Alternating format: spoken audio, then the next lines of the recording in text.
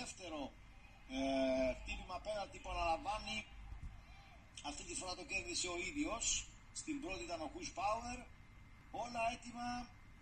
Περιμένουμε το σφύριγμα τον κύριο Αναστασίου. Σφύριξε. Κβιλιτάει απέναντι στον Πέτρου για δεύτερη φορά απόψε από το σημείο του πέναλτι. Και αυτή τη φορά νικητής ο Γεώργη 2-0 η ανόρθωση.